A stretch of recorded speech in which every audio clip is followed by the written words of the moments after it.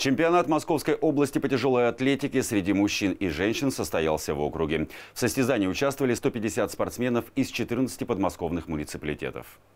Спортивная магнезия, атлетический пояс и штанга – основные атрибуты Альбины Хайбулиной. Сегодня она соревнуется в весовой категории до 55 килограммов. Позади три попытки, и результаты спортсменки и ее тренеру уже понятны. Немного нервно, особенно на последних двух. Вот, а так по силам нормально. Было всего три попытки.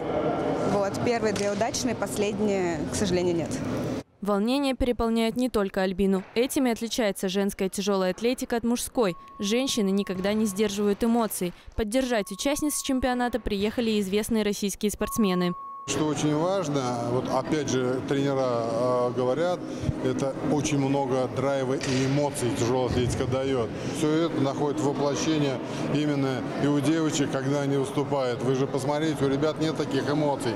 Девчонки радуются, визжат с восторгом.